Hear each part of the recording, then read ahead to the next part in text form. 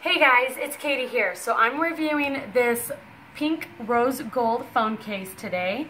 It works with the Samsung Galaxy S7. I believe it also works for the Edge. Um, I got it on Amazon, so we will send you some link information so you can see where you can get it. Now, here's the thing with this one. It comes apart in pieces like this. And when people first saw this, I've been reading some reviews and like, oh my gosh, it's broken, it's horrible. It's supposed to be like this.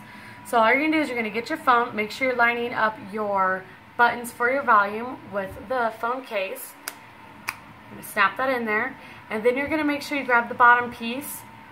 This is the top because it's only got the one hole. As you can see right up here, actually doesn't really have it, but the bottom one has got multiples. And you're going to lay it over the little edge here and push it in and this is where it gets a little difficult because you see there's got a gap there. You have to really push that in till you get a snap. There you go. Okay, and the same you're going to do for the top piece. It takes a little bit of grit and arm work. There you go, to get it in. So as you can see, it covers the edge here but it also leaves it flat so that way you don't feel like you've got any big bump up over it.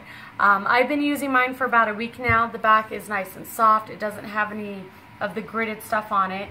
I've dropped it a couple times and I haven't seen anything come up here or on my phone being cracked. So it seems to be working really well.